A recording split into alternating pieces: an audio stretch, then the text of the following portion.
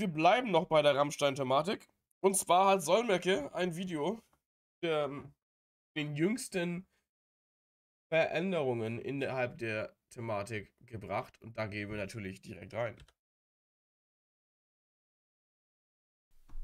Jetzt also doch. Die Staatsanwaltschaft Berlin, die hat ganz offenbar ein Ermittlungsverfahren gegen Rammstein-Frontmann Till Lindemann wegen sexuellen Übergriffs bzw. des Verdachts des sexuellen Übergriffs gegenüber Fans eingeleitet. Das berichten heute übereinstimmend verschiedenste Medien. Und dann noch das, Shelby Lynn, diejenige, die das ganze Rammstein-Verfahren ins Rollen gebracht hat, wehrt sich dagegen, dass die Polizei in Vilnius das Verfahren nicht weiter betreiben will. Ich kläre euch über den neuesten Sachstand hier auf. Hm.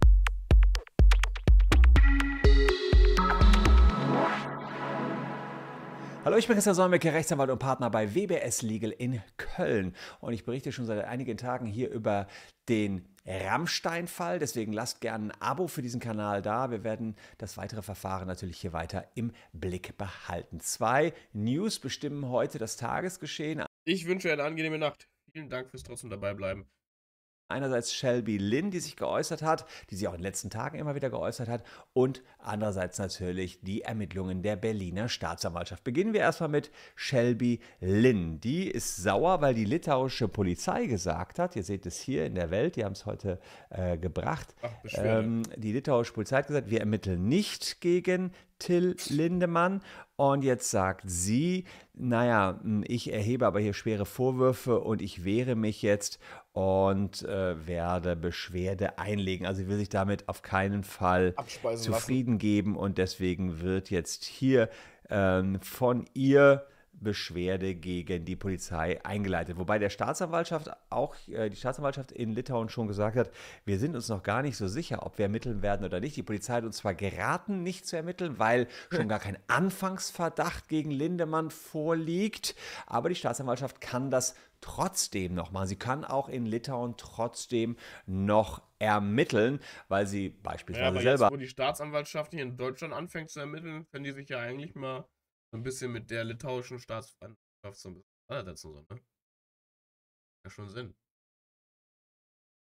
Der Meinung ist, vielleicht liegt kein Anfangsverdacht gegen Lindemann vor, aber dafür gegen andere. Denn Shelby Lehne hat ja immerhin in den Raum gestellt, ihr sollen Drogen verabreicht worden sein oder K.O.-Tropfen zumindest. Dafür ist übrigens abgemahnt worden. Es gab auch eine Petition, die sollen Abgemahnte unterstützen. Da sind also schneller Gelder zusammengekommen, wie man, als man gucken kann.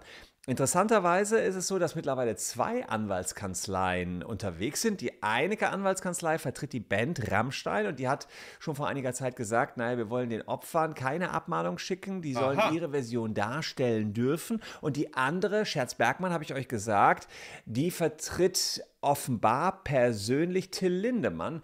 Und, und die lässt tatsächlich offenbar doch. Da wird halt eine andere Schiene gefahren, okay.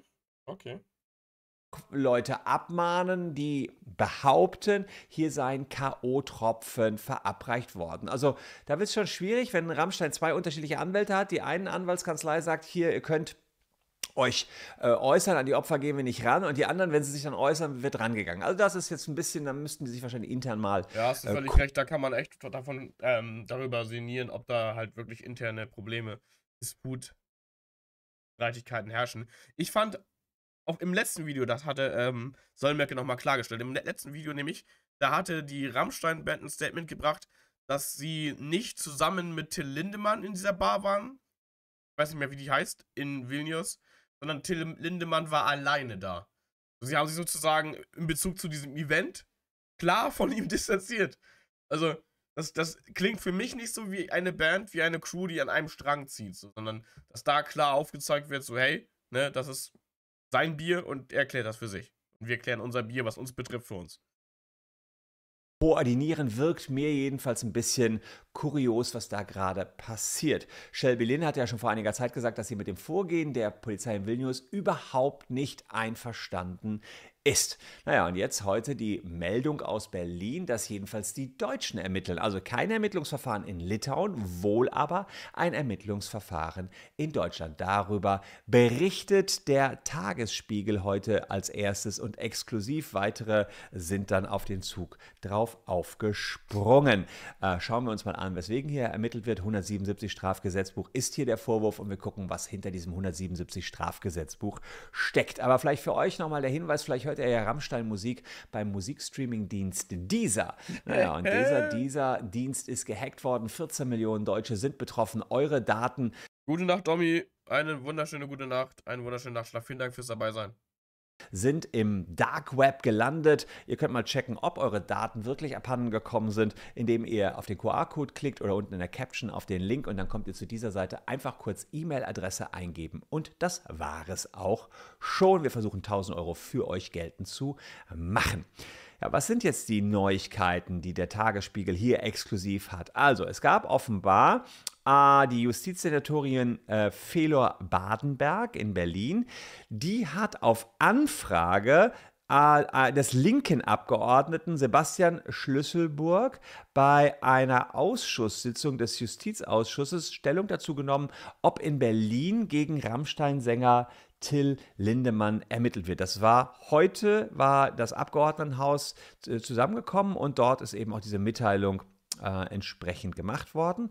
Unter Ausschluss der Öffentlichkeit ist aber trotzdem dann an die Öffentlichkeit gedrungen. Da heißt es, die Staatsanwaltschaft habe, das ist jetzt interessant, von Amts wegen äh, des Verdachts okay. nach 177 Strafgesetzbuch äh, Ermittlungen eingeleitet. Zudem legen mehrere Strafanzeigen wegen verschiedener Delikte gegen Lindemann Aha. vor, hieß es. Also gibt es doch mehrere Strafanzeigen gegen ihn. Ah, also haben sich doch Leute getraut, ihn anzuzeigen. Krass. 177 gucken wir uns genauer an. Die Bild-Zeitung ist auch vor einigen Stunden dann darauf aufgesprungen. Die Bild-Zeitung sagt, auch hier, Berliner Staatsanwaltschaft ermittelt gegen Till Lindemann. Die sagen, es wird in zwei Fällen ermittelt. Also es ist ein bisschen unterschiedlich. In diesem Sinne, Ehre, vielen, Dank für den Prime-Sub. Sieben Monate Support. Das gibt Abschiedsliegestütze. Vielen Dank. Sieben Monate Support. Jetzt nochmal die fünf. Groß.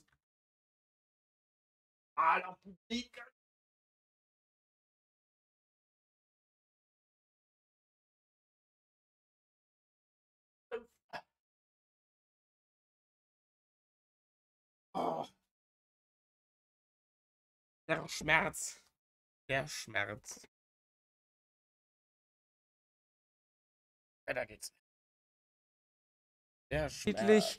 Da wird einerseits gesagt, es wird von Amts wegen ermittelt und einerseits, da ist eine, ähm, ja, wegen der großen Berichterstattung der letzten Tage und andererseits äh, wegen zwei Fällen. Da sieht es so aus, als wenn zwei Frauen eben Strafanzeige erstattet haben. Das könnte die eine Variante sein oder die andere. Ja, dafür sind die Linken, dafür sind die Linken tatsächlich gut, das muss man ihnen wirklich sagen, loben so. Wenn sie in ähm, Aufsichtsräten sitzen oder so, oder in Untersuchungsausschüssen oder sowas so, da haken die schon sehr kritisch nach. Das ist schon gut.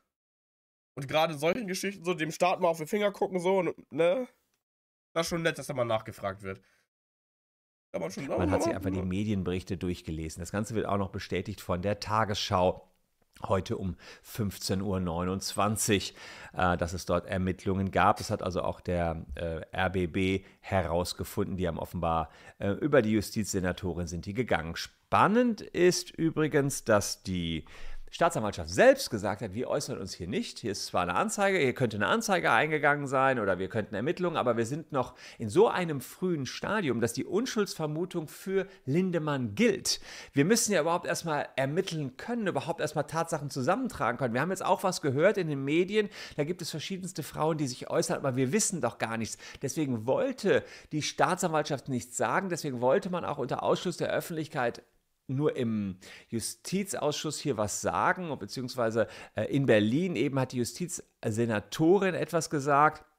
Der Ausschuss, äh, ja, es war der Justizausschuss, hat dann eben erfahren, was da passiert ist. Und klar, wie das so ist, dann ist es auch an die Öffentlichkeit gekommen. Also Staatsanwaltschaft selbst hat die Klappe gehalten, weil sie sagen, in du, äh, äh, Unschuldsvermutung, wir, wir, wir wissen nicht, wer es war, was passiert ist, wir wissen nicht, wer recht hat, denn eins muss man ja auch sagen, Lindemann selbst, der sich durch eine Berliner Anwaltskanzlei vertreten lässt, da hat schon vor einiger Zeit gesagt, das stimmt nicht. Hier sind keine K.O.-Tropfen äh, verreicht, äh, worden. Ich habe auch keine, äh, mit Gewalt äh, habe ich keine sexuellen Übergriffe gegen Frauen begangen. Also er weist die Vorwürfe entschieden zurück. Dagegen wiederum etliche Frauen, die jetzt wirklich in allen möglichen Medien sich äußern. Ist ja klar. Rockstar, viele Jahre sind vergangen, da wird er sicherlich mit der einen oder anderen Frau, tippe ich jetzt mal, äh, Sex gehabt haben das da deutet jedenfalls alles darauf hin. Und wenn die sich jetzt nochmal überlegen, wie ist das eigentlich damals gelaufen, könnte es sein, dass er nach und nach jetzt die ein oder andere Anzeige eintrudelt. Jetzt nach Bildzeitung sind zwei Anzeigen da ähm, und nach Meinung des Tagesspiegels sowohl Anzeigen als auch Ermittlungen von sich aus, ähm, weil es einen Verdacht gab. Gucken wir uns mal an. Ähm, gucken, wir uns, nee, gucken wir uns erstmal an, weswegen die Staatsanwaltschaft hier ermittelt. 160 Strafprozessort. Sobald die Staatsanwaltschaft durch eine Anzeige, das könnte sein, oder auf anderem Wege Verdacht von einer Straftat Kenntnis erhält, so. hat sie eben ähm, Ermittlungsverfahren einzuleiten. So, oder muss erstmal Sachverhalt aufklären und nachher ein Ermittlungsverfahren einleiten. So, das ist erstmal etwas, was ähm, 160 der Staatsanwaltschaft sowieso als Pflicht auferlegt. Das heißt, das ist jetzt auch nicht zu besonders. Ich hatte ja sowieso schon mich gewundert, ja. dass hier noch nicht ermittelt wird, hatte immer vermutet, das muss aber bald kommen. Dafür ist einfach schon zu viel auf den Tisch gelegt worden. Verschiedenste Frauen behaupten ja, was Lindemann bestreitet, sie hätten K. Und vor allen Dingen ist der öffentliche Diskurs halt auch so laut geworden, dass man das eigentlich auch nicht, nicht mit wahrnehmen kann. Also dementsprechend war das eigentlich der notwendige Schritt jetzt von der Staatsanwaltschaft. O-Tropfen bekommen und dann sei äh, sozusagen Sex mit ihnen gemacht worden. Sie seien aufgewacht und plötzlich lag Lindemann auf ihn und er sagt so nach dem Motto, soll ich weitermachen? Das waren ja Behauptungen, wohlgemerkt, Lindemann bestreitet sie, die Frau in den Raum gestellt haben, sind die aber einmal in der Welt. Naja, dann hat die Staatsanwaltschaft Kenntnis und das stand ja nun wirklich in allen Medien mittlerweile drin. Also hier äh, haben wir jetzt Ermittlungen. Das waren halt keine, ne, mal eben so am Stammtisch erzählt Behauptungen, sondern es waren eidesstattliche Erklärungen wegen 177. Und den wollen wir jetzt mal Stück für Stück durchprüfen. 177 Strafgesetzbuch, sexuelle Übergriffe, sexuelle Nötigung und Vergewaltigung. Gucken wir uns das mal äh, an. Also vielleicht der eine oder andere hat es ja auch schon mitbekommen. Da heißt es zunächst mal, ja, Lindemann hat seine Macht missbraucht. Der ist ein super Rockstar und äh, deswegen schlafen die Frauen ja nur mit ihm. Und dieser Machtmissbrauch, der muss jetzt geahndet werden. Da muss man vorsichtig sein. Das ist strafrechtlich nicht relevant. Die Himmel. Eine moralische Debatte, genau die führt ja nicht der Staat, sondern das führt ja wir, führen wir als Gesellschaft. Das kann man kritisieren, haben wir auch gesagt, so ne, aber der Staat wird da ja nicht agiert, agiert da ja nicht. An, haben vielleicht Bock mit dem zu schlafen. Da gibt es ja auch in den Berichten einige Frauen, die ähm, sagen, ja, hm, ich bin dann nochmal zu ihm hingegangen, ich habe mit ihm geschlafen, ja, und dann no nochmal versucht, in seine Nähe zu kommen. Das heißt, die, die wollten auch den Sex. Also dieser Machtmissbrauch, klar, weil man einen Popstar anhimmelt, äh, das ist nicht das Problem. Ein Problem wird es dann, wenn man nicht mehr komplett frei entscheiden kann. Ähm, und das gucken wir uns jetzt mal näher an. Also da sind wir vor allen Dingen hier drin oder, oder eben entgegen die, sogar, man hat frei entschieden, entgegen den erkennbaren Willen eine entsprechende Handlung vorgenommen werden. Gucken wir uns das mal an. Wer gegen den erkennbaren Willen, also das ist der, die Norm, weswegen die Berliner jetzt ermitteln, 177, wer gegen den erkennbaren Willen einer anderen Person sexuelle Handlungen an dieser Person vornimmt oder von ihr vornehmen lässt oder dieser Person zu Vornamen oder Duldung sexuelle Handlungen an oder von Dritten bestimmt, wird mit Freistrafe sechs äh, Monaten bis zu fünf Jahren. Ja, wir bestraft. auch im letzten Video. Das ist eine Norm. Sexueller Übergriff, aber sehr, sehr schwierig. Da geht es um sexuelle Handlungen allgemein. Da geht es noch nicht um miteinander schlafen, sondern sexuelle Handlungen allgemein, aber sehr schwer zu beweisen. In der Vergangenheit war es sehr schwer zu beweisen, weil man immer zeigen musste, gegen den Willen dieser Person. Ja, ich sag mal so, da ist ja keiner bei gewesen. In den wenigsten Fällen war da einer dabei. Äh, Im Hotelzimmer nicht und in diesem angeblichen Darkroom unter der Bühne war auch niemand dabei. Also das wird schwierig. Ja. Aber der 177, es heißt ja nur insgesamt wegen 177 wird ermittelt. Hier haben wir noch andere ja, Tat, Bestände, die in Betracht kommen könnten. Ebenso wird bestraft, wer sexuelle Handlungen an einer anderen Person vornimmt oder von ihr vornehmen lässt oder diese Person zur Vornahme sexueller Handlungen an, vor einen Dritten bestimmt, wenn, und jetzt wird es spannend, der Täter ausnutzt, dass die Person nicht in der Lage ist, einen entgegenstehenden Willen zu ah. bilden ah. oder zu äußern. Ja. Okay. So.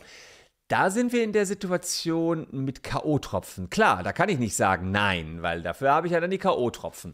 Und wenn der Täter. Aber was ist mit übermäßigem Alkoholkonsum? Also wenn du dazu überkomplimentiert worden bist, mehr, Alko mehr und mehr Alkohol zu trinken, dann kannst du doch auch keinen entgegenstehenden Willen bilden. Bezug zu GV. Person bewusstlos gemacht hätte oder sie von Dritten bewusstlos gemacht worden ist, dann ja, können ne? sie den entgegenstehenden Willen nicht äußern. Und dann nutzt man die Situation aus. Der Bundesgerichtshof hat sich dazu wie folgt mal auseinandergesetzt, sagt, ein Ausnutzen liegt schon dann vor, wenn dem Täter eine Auseinandersetzung mit einem stets möglichen entgegenstehenden Willen des Opfers erspart bleibt. Ja, das heißt auf gut Deutsch, äh, man macht das, man gibt die K.O.-Tropfen, damit die bloß nicht Nein sagen können. Das ist schon Ausnutzen, damit die da einfach nur liegen, schlafen, dann aufwachen, huch, was ist denn hier passiert? So, das wäre schon ein Ausnutzen, wenn man wenn der, die Person überhaupt nicht in der Lage ist, einen Willen zu bilden oder zu äußern. Das ist die Variante Absatz 1. Neben dieser Variante ist äh, das Verabreichen von K.O.-Tropfen auch noch eine gefährliche Körperverletzung. Ähm, und wir haben noch ähm, entsprechende Uff, Qualifikationstatbestände ja. hier in dieser Norm. Also die machen es dann nur noch schlimmer. 177 Absatz 5 ist das, glaube ich ähm, Nummer 1. Dann sagt man nämlich, das ist auch das Verabreichen von K.O.-Tropfen ist auch eine Gewaltanwendung, sagt die Rechtsprechung. Ja. Ähm, und wir haben noch den Absatz 8, ähm, da geht es darum, dass K.O.-Tropfen auch noch ein gefährliches Werkzeug sind. Ah ja, hier Nummer 1, bei der Tat eine Waffe oder ein anderes gefährliches Werkzeug verwendet. Und dann kommt man nicht unter fünf Jahre ins, äh, ins Gefängnis. Also das wär, wenn das rauskäme, wenn sich das bestätigen lassen würde, äh, das wäre richtig heftig. Mhm, deswegen ist es natürlich auch klar, dass Lindemann da sagt, ey Leute, mit K.O.-Tropfen hatte ich hier nun gar nichts zu tun. Also das wird klar von ihm abgestritten. Aber die Vorwürfe stehen nun mal von mehreren Frauen im Raum. Die kann man noch so viel abmahnen, diese Frauen. Das ist jetzt ehrlicherweise, finde ich, auch ein bisschen Quatsch. Ähm, ja, ist meine, da muss jetzt, meine Rede. Klar, sie dürfen es jetzt auch. Besser wäre es natürlich, die Frauen würden es gar nicht in der Öffentlichkeit sagen, sondern bei der Staatsanwaltschaft Strafanzeige erstatten. Dann ermittelt die Staatsanwaltschaft, klärt das in Ruhe auf und dann ja, kommen die Verantwortlichen ins Gefängnis oder kommen nicht ins Gefängnis. Aber dann ist sozusagen eher Ruhe in der Geschichte. Ähm, so ist, ja, so ist es natürlich für alle Beteiligten. schwierig, äh, weil die ganze Aber Öffentlichkeit. Es führt dann natürlich nicht zu einem gesellschaftlichen Dialog und zu einer Aufklärung allgemein. Deswegen also, hier miträtselt. Und außerdem haben wir noch andere Dinge, die auch sein könnten, wenn der Täter es ausnutzt, dass die Person aufgrund ihres körperlichen oder psychischen Zustands in der Bildung oder Äußerung des Willens erheblich eingeschränkt ist. Es sei denn, er hat sich der Zustimmung dieser Person versichert. Na, was könnte das sein? Das wiederum muss ich sagen, da gibt es schon viel mehr Äußerungen. Erheblich eingeschränkt, also besoffen, dizzy, äh, ah, ja, irgendwie nicht so im Vollbesitz der geistigen Kräfte. Da schreiben viele, dass sie nicht wissen, was passiert ist. Sie sagen nicht alle K.O. drauf, die sagen nicht, ich bin völlig outgenockt worden, aber ich war eben erheblich eingeschränkt, konnte so den Willen gar nicht mehr so ganz bilden. Das ist wirklich häufiger schon beschrieben worden. Wohl wichtig zu sagen, ich weiß nicht, was wahr ist. Aber wir müssen zumindest auf den Tisch legen, dass es diese Äußerungen gibt, dass da sehr stark angetrunkene Frauen, die nicht mehr wussten, was los war, äh, dann irgendwie im Bett mit Lindemann angeblich gelandet sind. So. Und da muss man sagen, wenn das sich als wahr herausstellen würde, dann könnte das ein Ausnutzen sein. Es sei denn, man hätte sich vorher vergewissert, dass die Person einverstanden ist. So. NDA und hier geht es ja dummerweise ähm, oder schlimmerweise nicht nur um ein bisschen Fummel oder Petting. Nee, ähm, hier geht es ähm, im äh, Absatz 6 auch um möglicherweise besonders schwere Fälle. Und da sehen wir hier, der Täter mit dem Opfer den Beischlaf vollzieht oder vollziehen lässt oder ähnliche sexuelle Handlungen an dem Opfer vornimmt oder von ihm vornehmen lässt. Das ist die äh, ursprüngliche, oder das ist die Vergewaltigung. Ja? Also da geht es um den Eindringen in den Körper. Das kann äh, miteinander schlafen sein, Oralsex, Analsex. So, ähm, und das ist dann, dann kommt man nicht unter zwei Jahren ins Gefängnis. Ich meine, es geht bis 15 ey, Jahre. Ey, das ist so wenig, Mann. Die Mindestgrenze ist so niedrig, ey. Darauf. Also das ist dann wirklich, ähm, ja, die, die, die eine, eine sehr, sehr schwere Straftat. Und das Problem ist, wenn wir oben ähm, den Tatbestand verwirklicht haben, dass wir sagen, hier sind K.O.-Tropfen vergewaltigt worden und das auch noch hinzukommt, dass dann mit den Menschen äh, und den Frauen vor allen Dingen natürlich auch geschlafen worden ist, ja, dann zwei bis 15 Jahre Gefängnis. Aber sehr, sehr wichtig, das muss man hier einfach sagen, ähm, es kommt immer darauf an, was nachher bewiesen werden kann. Und da das Ganze ja nur die beiden wissen, die im Raume waren, und ob dies beide so genau wissen oder ob die nicht beide irgendwie unter Drogen standen, das steht auch nochmal auf einem anderen Blatt Papier. Das heißt, ja, jetzt muss die Berliner Polizei einfach die Ermittlungen durchführen. Ähm, was sie alles ermitteln wird, das habe ich euch gerade, glaube ich, recht ausführlich ähm, aufgezeigt. Ja. Wenn ihr dazu mehr wissen wollt äh, in der Zukunft, dann lasst gerne ein Abo da. Wir werden den Fall hier an dieser Stelle auf jeden Fall Wir weiter verfolgen, gucken, wie sich das ja, entwickelt. Jetzt erstmal ein erster Schritt seitens der deutschen Behörden. Was bei rauskommt, vollkommen offen. Vollkommen offen. Rammstein zieht die Tour durch, so wie ich das den Medien entnommen habe. Die spielen erstmal weiter haben den Song Pussy und die Peniskanone aus dem Konzert rausgenommen, erstmal um nicht noch weiter zu provozieren, aber ansonsten sehr professionell werden die Shows durchgezogen. Es gibt Forderungen, es gibt Demos, Proteste, die Shows zu stoppen, aber Insgesamt ja, hatte die Berichterstattung in den letzten Tagen etwas abgenommen, ist aber heute natürlich sofort wieder nach oben geschossen, nachdem klar ist, ja, es gibt Ermittlungen in Deutschland, nachdem Litauen eher nicht ermitteln wollte. Das sind die neuesten News zur Causa Rammstein bzw. Till Lindemann. Lasst ein Abo da, falls euch das Video gefallen hat. Wir sehen uns morgen an gleicher Stelle schon wieder mit diesen beiden Videos. Könnt ihr euch die Zeit bis dahin vertreiben. Bleibt gesund, liebe Leute. Tschüss und bis morgen.